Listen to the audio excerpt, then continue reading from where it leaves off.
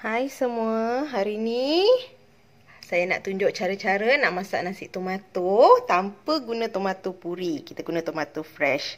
Okey, bahan-bahan yang diperlukan. Okey, rempah empat sekawan ni, buah pelaga, kayu manis, bunga cengkeh, bunga lawang. Lepas tu saya guna daun salam.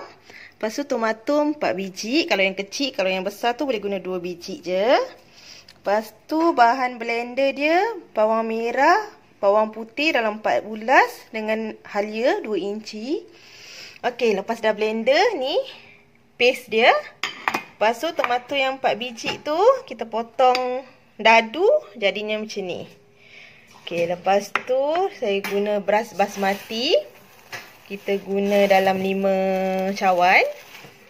Okey, ukuran air dia satu cawan beras sama dengan satu suku cawan air.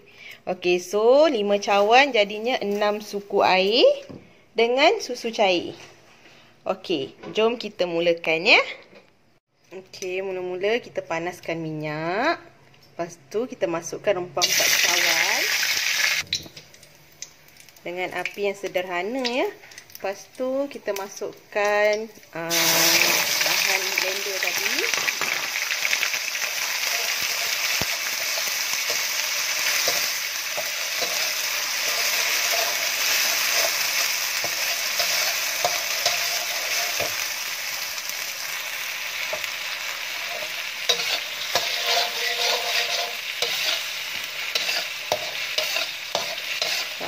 sampai naik bau.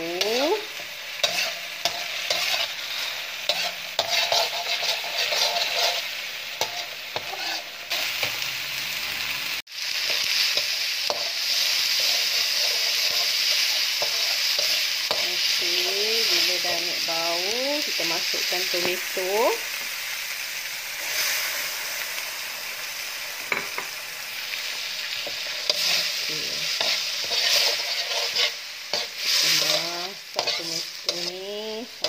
dia hancur.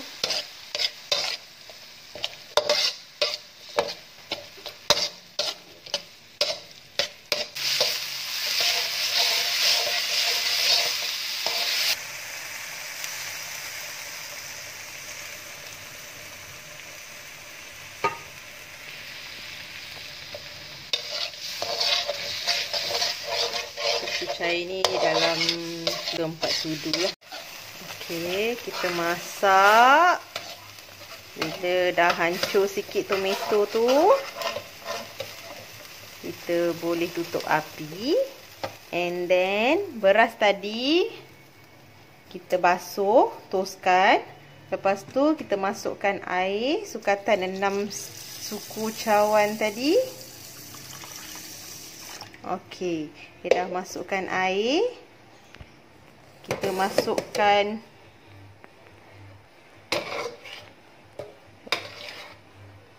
bahan-bahan yang kita masak tadi dalam beras.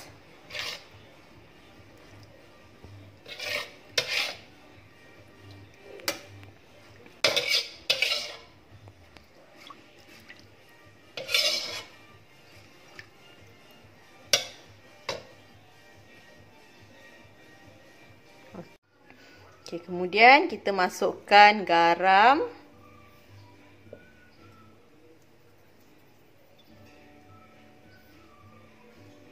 secukup rasa ya. Kalau saya dalam dua sudu setengah ni cukup lah. Kemudian kita biarkan masak.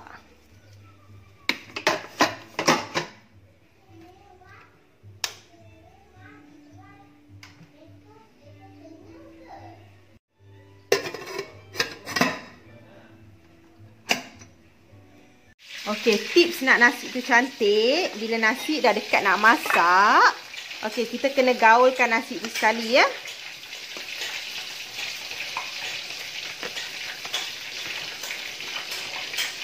Okey, so that rempah dia semua boleh mix cantik dalam nasi tu. Okey, lepas tu kita biarkan dia masak. Nampaknya nasi kita dah masak. Okey, ini rupa dia. Nasi tomato. sebiji-sebiji nasi dia.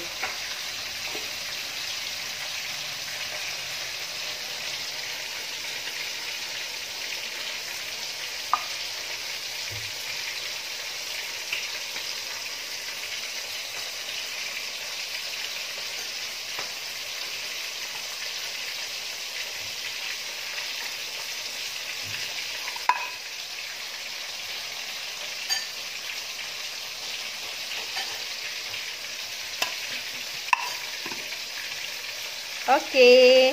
Thank you kerana menonton. Jangan lupa subscribe. Bye.